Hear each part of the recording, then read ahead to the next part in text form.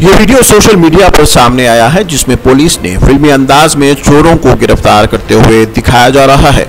बताया गया है कि रियासत महाराष्ट्र के अहमदनगर सहदी इलाके में वाक़ इंडियन ओवरसीज बैंक में छुट्टी के दौरान नामालूम चोरों ने रसाई हासिल की। लेकिन मुकामी अफराद ने बैंक के अंदर से आने वाली आवाज़ों पर शक शुबा ज़ाहिर करते हुए फौरी इस बारे में पुलिस को इतला दी।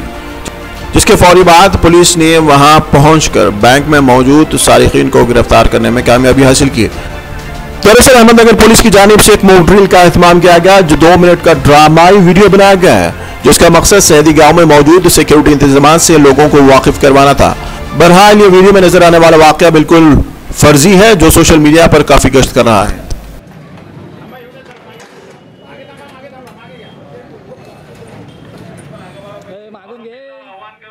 आपण निशस्त्र होऊन पोलिसाच्या स्वाधीन व्हायचं आहे